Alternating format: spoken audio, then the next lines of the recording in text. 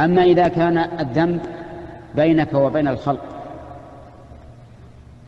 فإن كان مالا فلا بد أن تؤديه إلى صاحبه ولا تقبل التوبة إلا بأدائه مثل أن تكون قد سرقت مالا من شخص وتبت من هذا فلا بد أن توصل المسروق إلى المسروق منه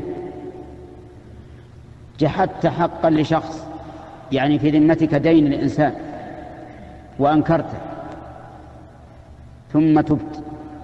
فلا بد أن تذهب إلى صاحب الدين الذي أنكرته عنه عليه وتقر عنده وتعترف حتى يأخذ حقه.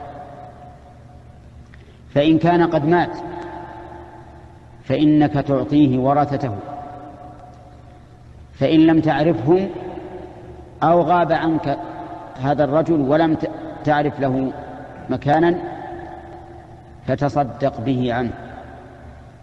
تصدق به عنه. تخلصا منه.